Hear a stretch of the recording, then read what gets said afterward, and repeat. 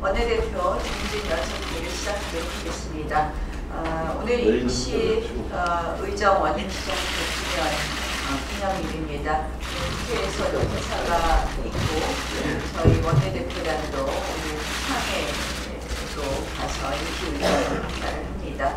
음, 이 조국의 해방과 독립국가 건설만을 바라던 우리 경제 기업들의 그 정신을 어, 되살릴 수 있겠습니다.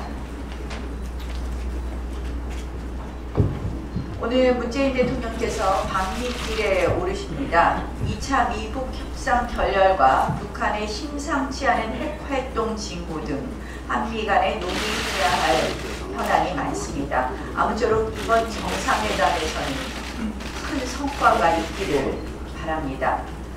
어, 이번 한미 정상회담의 가장 큰 숙제는 바로 한미 간의 상호 신뢰 회복이다 이렇게 생각합니다. 한미 공조 분열의 이런 우려를 인식시키는 한미 정상회담이 되기를 기대해 봅니다. 최근 국내에서는 물론 한국 정치권에서도 한미 동맹 유기론이 확산되고 있습니다. 주요 한미 연합훈련의 종료 또는 축소에 따른 불안감도 큽니다. 인도 태평양 전략을 지향하는 미국과의 이견으로 한미간 갈등이 확대된다는 지적도 있습니다. 문재인 정부가 한미 정상회담을 앞두고 어제 발언한 것을 보면 대북 제재 틀을 유지하겠다 이런 발언을 해서 다소간의 비교적 차분한 어, 모습을 보이고 있는 것 아닌가 이런 어, 분석도 해봅니다. 하지만 그 진정성은 여전히 의구심이 있는 부분이 있습니다. 문재인 대통령이 추구한다는 이른바 good enough deal은 미국이 추구하는 비핵화와 여전히 평행선을 달고 있습니다. 이번 정상회담을 통해 미국의 생각을 바꿔보겠다는 의도라면 오히려 역효과가 날 수 있습니다. 미국을 설득할 생각을 하지 말고 미국과 함께 북한을 설득해야 합니다. 트럼프 대통령 입장을 바꾸려 하지 말고 김정위원장의 생각을 바꾸려 해야 합니다.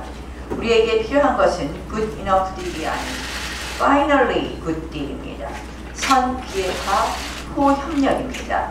그것만이 최종적으로 좋은 딜입니다. 이번에도 트럼프 대통령을 찾아 북한의 입장을 두둔한다면 북한 비핵화는 물론 한미 동맹마저 파국으로 치달을 수 있습니다. 북한의 최종적이고 완전하게 검증된 비핵화를 이끌어내는 방법을 찾는 것이 정상회담의 과제입니다. 회담이 성공적으로 끝나더라도 문제는 여전히 남습니다. 미국 행정부와의 충분한 공감대 형성이라는 외교적 성과 뒤에는 곧바로 북한의 반발과 비난이 따라붙을 수 있습니다. 바로 여기서 문재인 정부가 또 한번 흔들릴 수 있다고 생각합니다. 회담 후 북한과의 대화가 한미 간 약속과 충돌해서는 안 된다는 말씀을 드립니다. 그렇게 되면 동맹도 잃고 비핵화도 실패하게 됩니다. 이번 방미 동맹, 방미를 통해서 한미 동맹을 다지고 또 북한의 비핵화를 위한 묘책을 찾기를 바랍니다. 재벌 공격하면서 남편은 재벌 기업 사건 수임하기 멀쩡한 집 두고 관사 들어가서 불법 대출로 부동산 올인 투자 문재인 정권 주요 인사들의 상상 초월 돈벌이 방법들이 국민들을 아연실색하게 합니다. 그런데 더 놀라운 분이 등장했습니다. 그것도 무려 대한민국 헌정질서의 최후의 보루 헌법재판소의 헌법재판관 후보자 이미선 후보자입니다. 오늘 인사청문회가 예정되어 있습니다. 어제 말씀드렸습니다만 자신이 재판을 맡은, 소송의 당사자인 건설사의 주식을 13억 원어치가량 보유해 심각한 공정성 시비가 있었습니다. 그런데 그뿐만이 아니었습니다. 이 후보자의 남편이 특허법원 판사 재직 시절 역시 모기업 주식을 보유한 상태에서 해당 기업 소송을 11건이나 맡았다고 합니다. 2,700억 원대 계약 체결 공시 직전 6억 5천만 원 가치의 주식을 매수해 사전 정보를 입수해 투자한 것 아닌가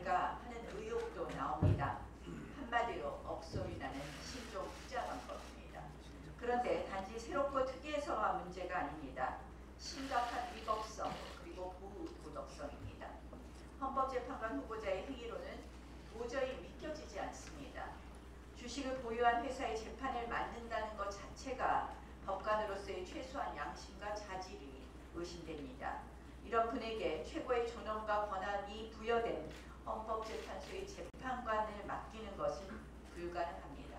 그것 자체가 헌법에 대한 1차 청문회가 열리긴 하겠습니다만 과연 의미가 있나 하는 생각입니다. 오늘 우리 당 청문위원들께서 이민선 후보자의 자격 미달을 국민들께 소상히 알려드릴 것입니다. 김현철, 박영선 장관 임명 강행에 이어서 이민선 후보자 역시 강행한다면 그야말로 대통령이 의회와의 전면전을 선언하는 것이다. 이렇게 생각됩니다. 청와대에서도 오늘 청문회를 유심히 지켜보고 부디 상식에 맞는 판단을 내리길 바랍니다. 어, 어제 우리 KBS 어, 특위가 어, KBS 사장 어, KBS를 항의 방문했습니다. 그리고 문재인 대통령조차 이번 강원 산불과 관련해서 국가재난방송 주간 방송사인 KBS의 대응이 부실하다고 지적했습니다. 그럼에도 불구하고 KBS 양승동 사장이 어제 항의 방문한 한국당 의원들을 문전박대했습니다. 더욱이 대신 나온 정필모 부사장이 이런 이야기를 했습니다. 못 나오는 것이 아니라 안 나오는 것이다. 대통령의 질책조차 무시하는 양승동 사장은 사장으로서의 임무를 포기했기 때문에 더더욱 사퇴해야 합니다. 이상입니다.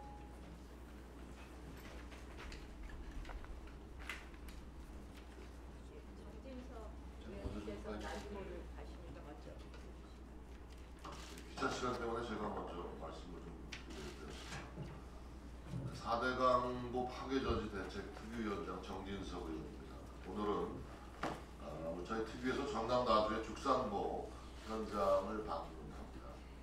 그 26일 오후 2시 의원회관 대회의실에서는 특위 주최로 4대강 대토론회를 개최해야 합니다. 5월 2일 오후 2시 서울역 앞 광장에서 시민단체인 4대 강보 파괴 저지 범국민연합과 함께 10만 군중 집회를 개최하고 청와대까지 행진할 계획입니다. 어제 MBC PD 수첩이 4대강 가짜뉴스 그리고 정치인이라는 제목의 1시간짜리 프로그램을 내보냈습니다. 저는 이 프로를 다 보고 나서야 타이틀에 등장하는 정치인이 바로 저라는 것을 알았습니다. PD 수첩에 등장하는 정치인 정진석은 민주당이 다수를 장악하고 있는 공주시의회를 주물러서 공주보 파괴 반대 결의안을 이끌어내고 민주당 소속인 공주시장도 사실상 보철거에 반대하도록 만들고 가짜 뉴스로 공주 지역의 농민과 이장님들을 마음대로 동원하는 그야말로 엄청난 괴력의 소유자였습니다. 저는 가짜 뉴스를 생산한 적도 농민들을 뒤에서 조종한 적도 없습니다. 가짜 뉴스는 오히려 공주보 철거 반대 투쟁을 못마땅하게 여겨온 PD 수첩의 의도적이고 편향된 보도가 바로 가짜 뉴스입니다.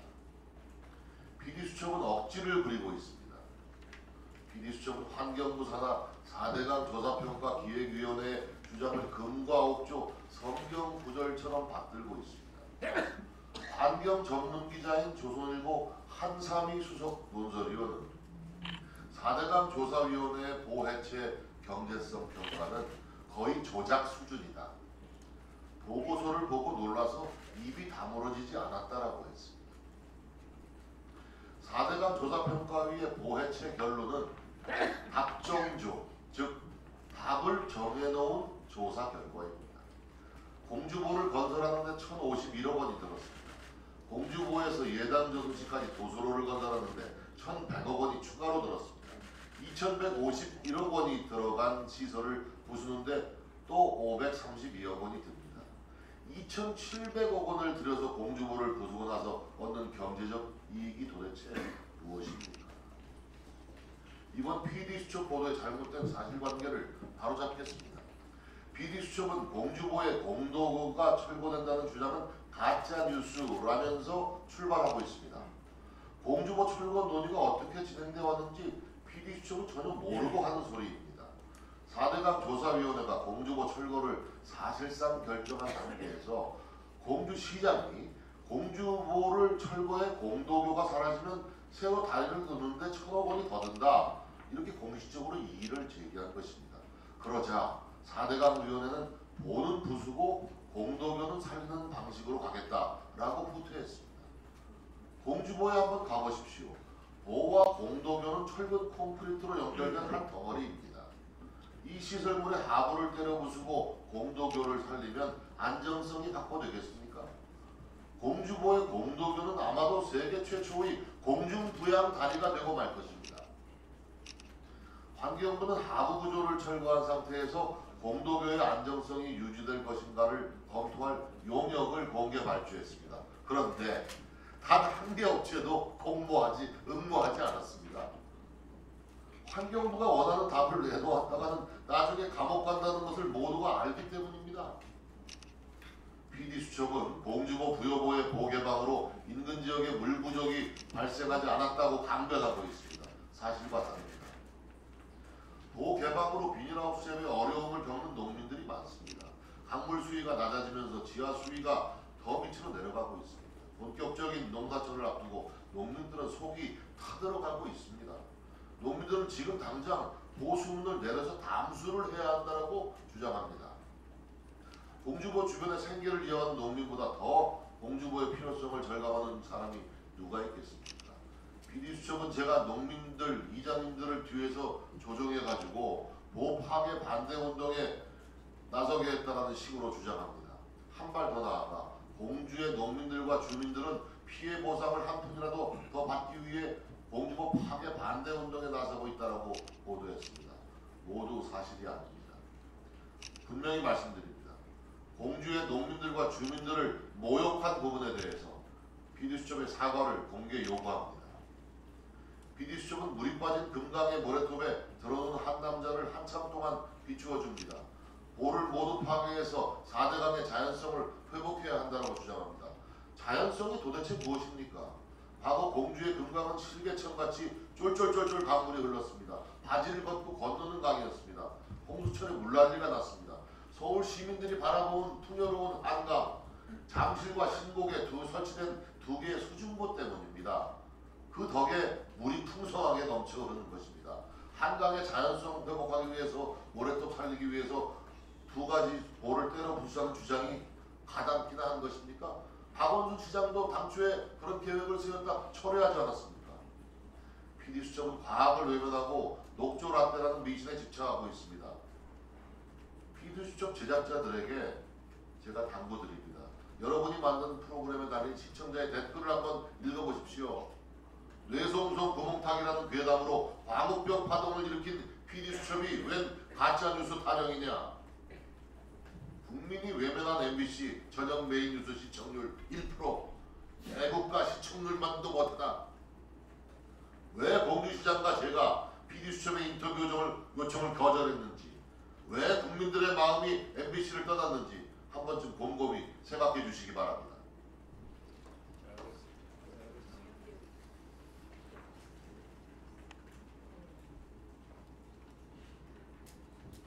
하세요. 나중에 아주 갔다 올게요. 그 방금 우리 정진석 의원님께서 PD 수첩 말씀을 하셨는데 예, 요즘 이 공영방송의 여론 조작, 그 왜곡 보도가 정말 심각합니다.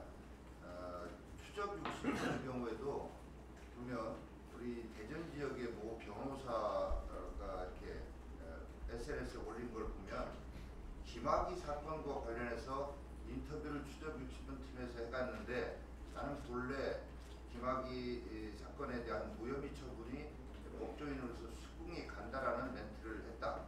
아, 여성의 진술을 그대로 인정한다고 하더라도 성폭력으로 보기는 어렵기 그랬더니 추적 60분 실제 본방에서 내 인터뷰 내용이 편집돼서 한마디로 잘렸다.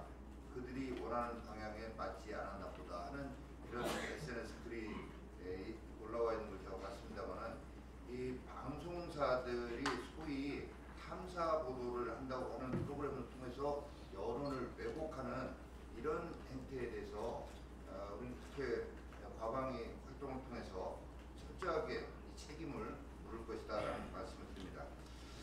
오늘 그 통계 인상을 발표를 했습니다. 어, 그리고 일부 언론에서는 뭐 고용률이 올라가고 고용 상태가 대단히 개선된 것처럼 벌써 어, 뉴스를 내보내고 있습니다. 어, 그런데 이 결국 고용률 0.2%포인트 상승했다라고 하지만 내용을 들여다보면 정말로 걱정스럽기 이를 데 없습니다. 늘어난 것은 어, 노인 일자리 사업이라고 할 수 있는 보건 및 사회복지 서비스업 일자리 늘어났습니다.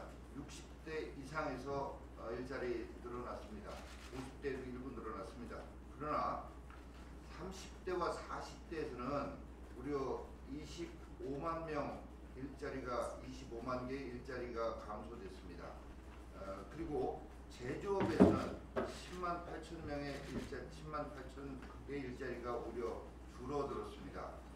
아, 이렇게 내용을 들여다보면 정말로 어, 이 나쁜 정부의 나쁜 정책에 의해서 일자리의 질이 아주 나빠지는 것이 부조화되고 고착화되는 것이 아닌가 하는 이런 우려가 될 수밖에 없습니다.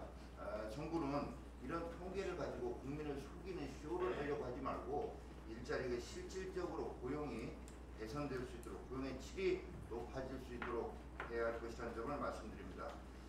어, 무상교육 관련해서 짧게 말씀드리겠습니다. 무상교육 환영합니다. 누가 반대하겠습니까? 다만 전 정부에서도 이 무상교육 전임 정부 에, 도입을 하려고 했지만 재원 문제 때문에 에, 어, 선뜻 시행을 못했던 것입니다. 그런데 어제 발표된 내용을 보면 우리 야당으로서 볼 때는 이 정부가 과연 재원에 대해서 어떤 생각을 가지고 이렇게 배짱 좋게 에, 발표를 하는지 에, 의심하지 않을 수가 없습니다.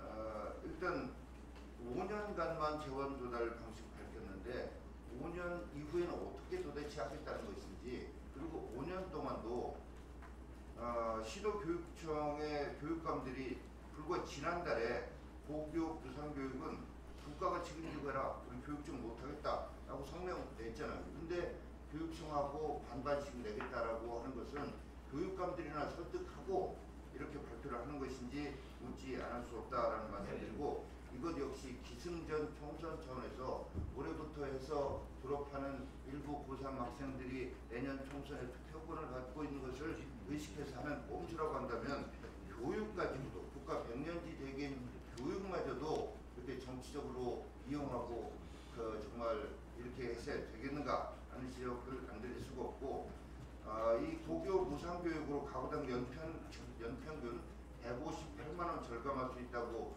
자랑을 하고 있는데 1인당 사교육비는 작년에 300, 1년에 350만 원으로 이 그, 무상교육으로 인해서 줄어들 수 있는 비용이 두 배가 넘습니다.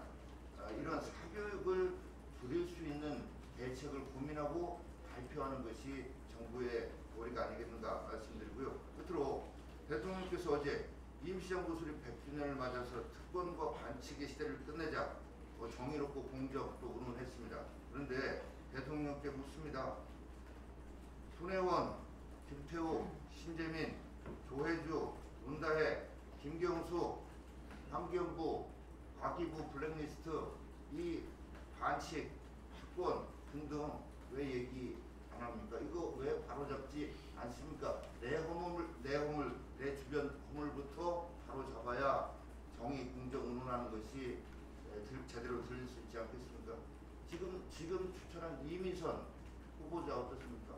특권 반칙의 전형 아닙니까? 엊그제 임명한 장관들은 어떻습니까? 국민들 보시기에 정말로 특권과 반칙에 정말로 이 국민들이 분노할 수밖에 없는 사람들 장관 임명 강행하고 같이 웃으면서 사진 찍고 그러면서 입으로는 특권과 반칙을 끝내자라고 얘기하는 이 대통령의 이중성에 우리 국민들이 정말 분노하는 것입니다.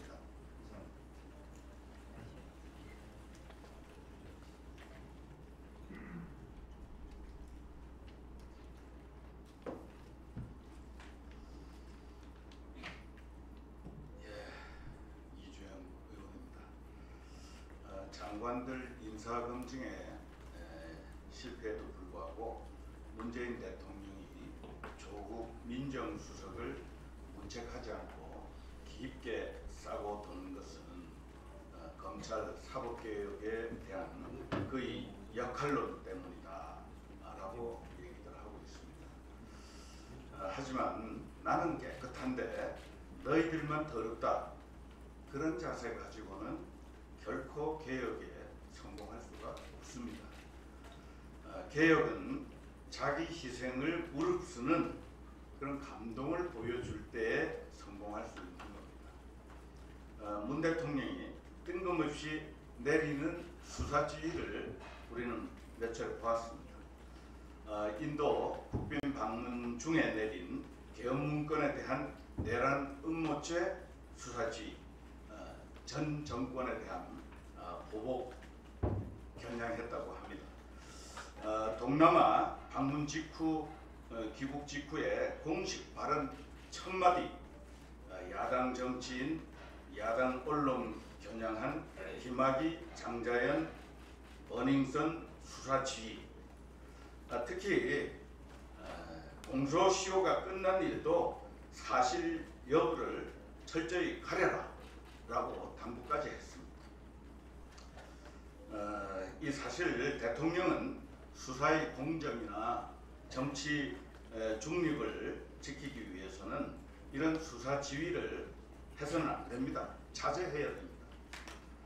굳이 이런 걸 하겠다고 하면 먼저 내 식구들부터 엄중 수사해라 라는 지휘를 해야 아, 수사 권- 권력 개혁 의지를 우리 국민들께 감동 있게 전달할 수 있는 겁니다. 아, 김의겸 청와대 대변인, 주영훈 경호처장, 손혜원 의원, 또 문다의 딸과 사위, 또 박영선 장관, 특히 공소시효가 끝난 일도 사실 여부를 가려라 이렇게 얘기할 거면 이 자기 식구들부터 어, 그렇게 얘기를 해야 맞죠. 그렇게 해야 어, 국민들이 어, 감동한다는 얘기입니다. 어, 그리고 청와대 특별감찰관 빨리 임명을 해야죠. 왜 여태 임명을 안 합니까? 그래서 내 식구들을 철저히 감시 에, 감찰하는 일. 그래서 내 주변부터 부패 척결을 해나가겠다. 이렇게 모범을 보이는 것이 대통령 개혁 의지의 진정성을 보이는 것이다 하는 점을 명심해야 됩니다. 어, 어제 오늘 헌법재판관 에, 인사청문회 에, 개최되고 있는데 사법부를 끼리끼리 편갈라서 장악하려고 하는 시도 그 한가운데 있는 법관들의 하나회 우리법연구회 국제인권법연구회 해체해서 사법 민주화의 초석을 놓는 것도 어, 이 개혁 의지의 감자가 될 거다 하는 점 명심해야 됩니다. 그리고 이제 어, 한미 정상회담 앞이기 때문에 제가 한 말씀 좀 드리겠습니다. 어, 한국의 역할 그 방향은 어, 첫째 한미 동맹 강화, 두 번째 한미일 공조, 세 번째 북한을 설득하는 노력 동반 이게 이제 그 방향이 돼야 됩니다. 어, 이런 일들을 위해서 가장 먼저 해야 할 일이 1년 5개월 전입니다. 2017년 11월 7일 서울의 한미 정상회담 당시에 트럼프 대통령으로부터 직접 제안받았던 인도 태평양 전략의 동반자로 함께 하겠다는 답을 이번 정상회담에서 내놓아야 된다는 것입니다. 여기서부터 한미 동맹과 한미일 공조에 대한 신뢰를 얻을 수 있고 한국의 중재안을 내놓는다고 하더라도 거기에 힘이 실릴 수 있다는 점을 강조해드립니다. 이상. 행사가 있어서 난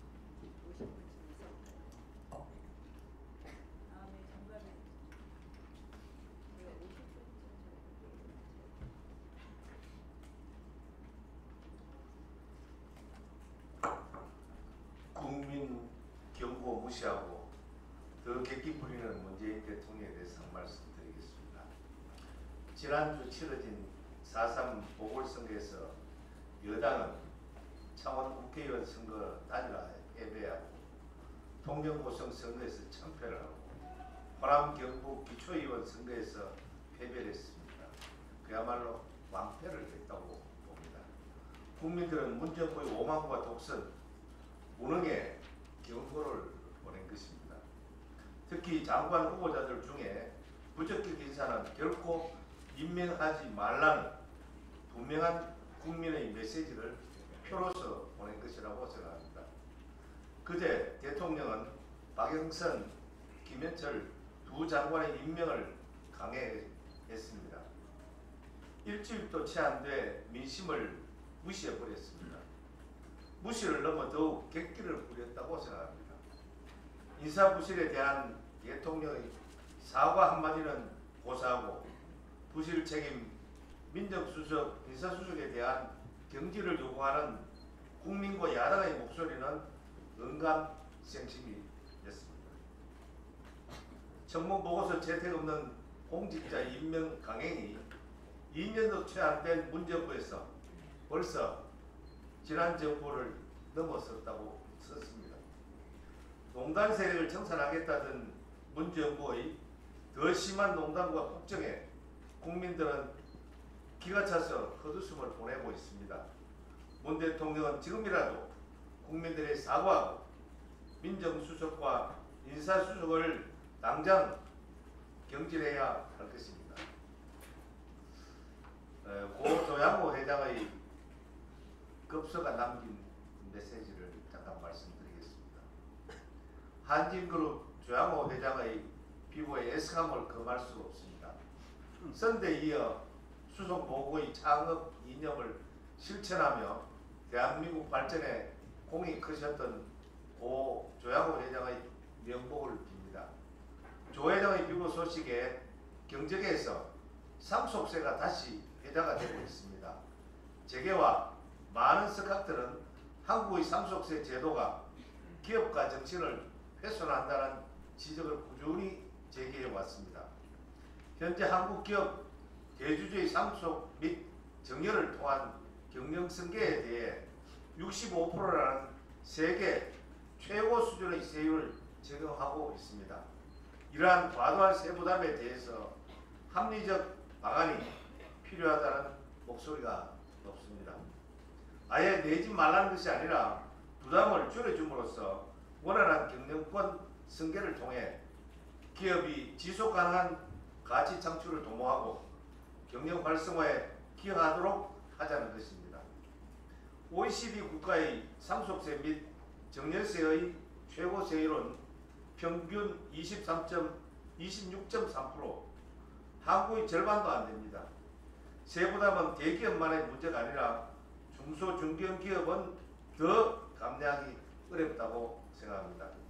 본의원이 발의한 안을 포함해서 기업 상속 공제 대상 기업을 확대하고 세율 인하 등의 법안을 법안들이 발의되어 있습니다. 더 큰 경제적 가치 창출과 고용 확대 등 사회 반응이 되도록 합리적 방안을 진지하게 고민해 보자는 말씀을 드립니다.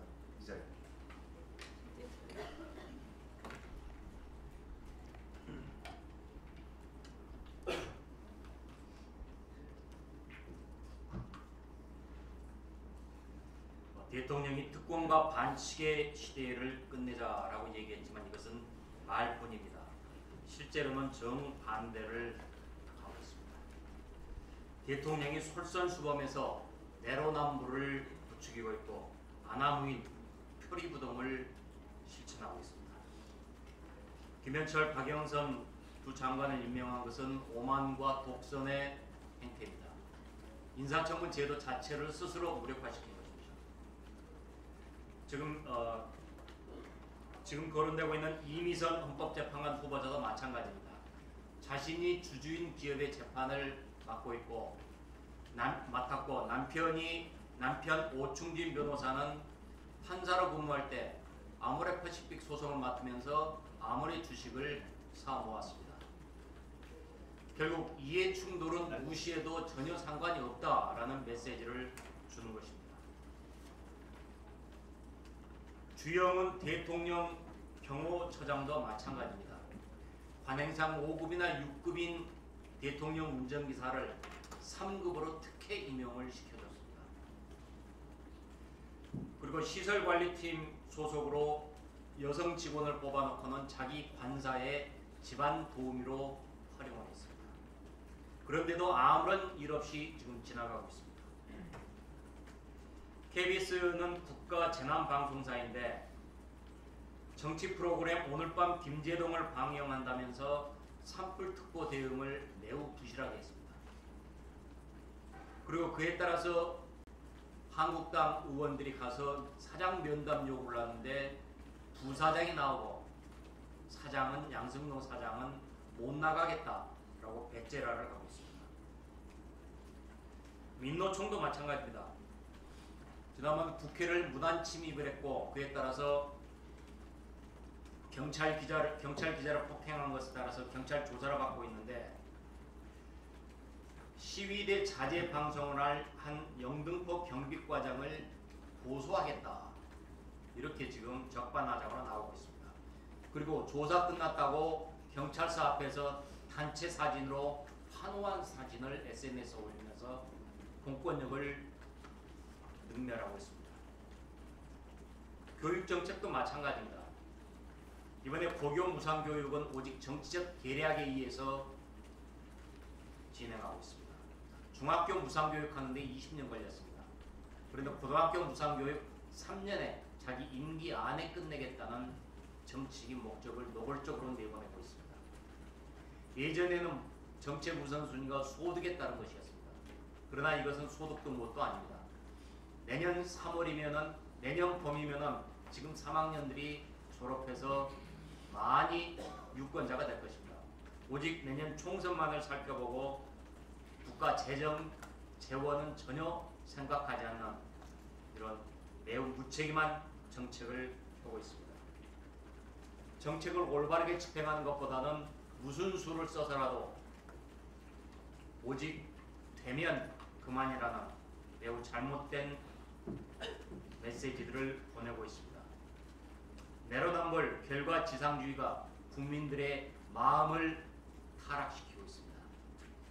국가기관을 올바르게 세우기 위해서라도 인사문제 책임자, 인사문제 책임자인 인사수석, 민정수석 당장 경질하십시오. 감사합니다. 유기준의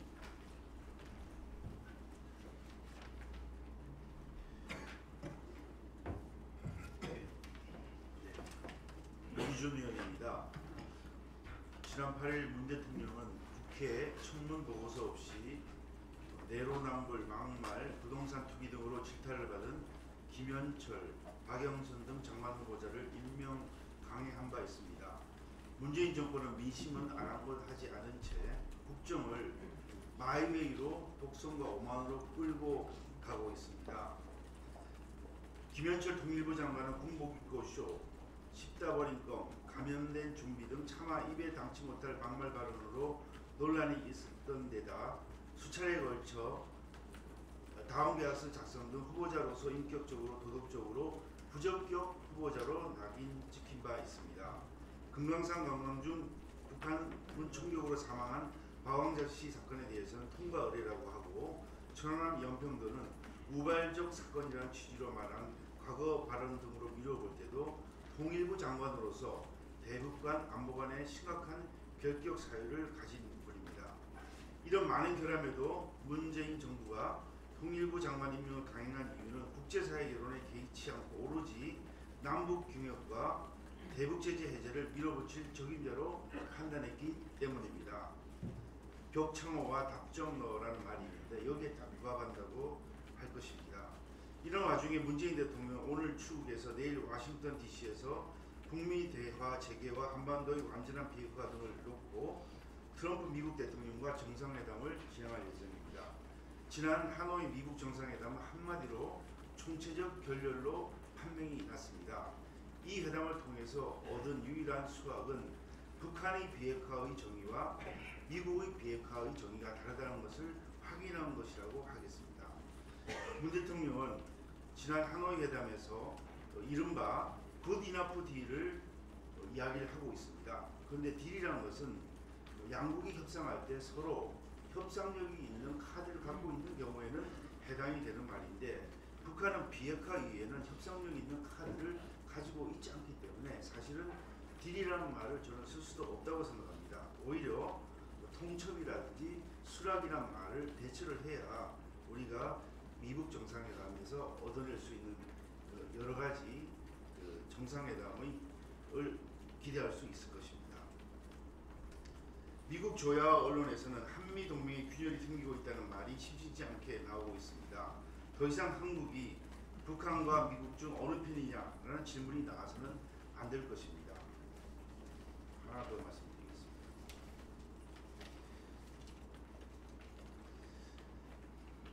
제가 지난 4월 1일 정론관에서 기자회견을 통해서 발표한 바와 같이 우리나라 선박인 노이리스호는 작년 4월 이후 수차례 목적지를 어, 싱가포르와 베트남 하이퐁 등으로 신고하고 우리나라 정유 제품을 싣고 출항했으나 마린 트래픽에 따르면 싱가포르나 베트남에는 기항하지 않고 동중국의 공해상 등에 머물렀던 것으로 나, 나타났습니다.